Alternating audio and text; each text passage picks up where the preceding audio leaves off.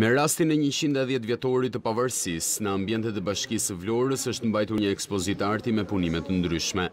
Kriteri bazë i kësaj ekspozite ka qenë gjithëpërfshirja, pra jemi munduar që të ketë pjesëmarrje qoftë edhe nga ajo pjesë e komunitetit të themi të artistëve apo të artdashësve që punojnë akoma dhe për hobi.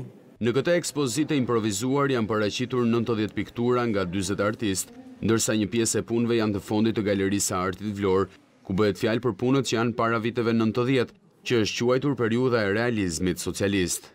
Është shumë e veçantë sepse është një ndërthurje brezash, është nder dhe kënaqësi edhe për ne të marrim pjesë me artistë që kanë themeluar edhe shkollën të themi vlonjate të pikturës, Është eksperiencë e veçantë e shumë e bukur. Gjithashtu më e veçantë është edhe hospitimi në në ambientet e e bashkisë së qytetit, një ndërtesë fantastike me vlera arkitektonike.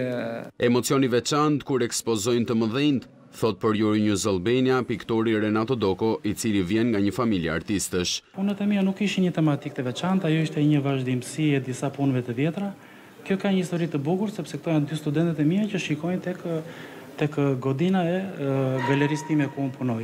Ato kanë gjithmonë këtë dëshirën pasi rrugica është e restauruar, është Muradia e vjetër që është kthyer në kontekst, është rikthyer në pjesën e saj historike dhe ato janë gjithnjë gjithmonë kurioze për evenimentet që bëhen në të gjithë Unë kam punuar me ekspozita të tjera, po të jesh në Bashkinë e Vlorës është diçka e veçantë për mua.